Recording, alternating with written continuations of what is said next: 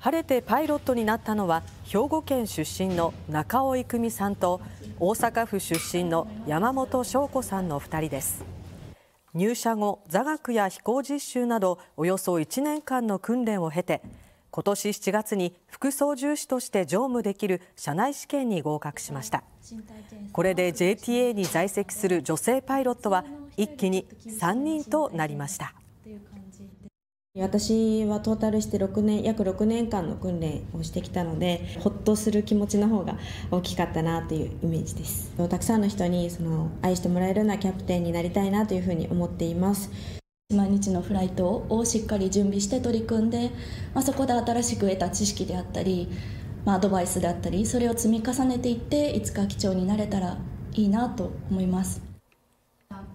JAL グループによると在籍するパイロットおよそ3000人のうち女性はわずか80人とまだ非常に少ないものの年々女性の志願者数は増加傾向だということです。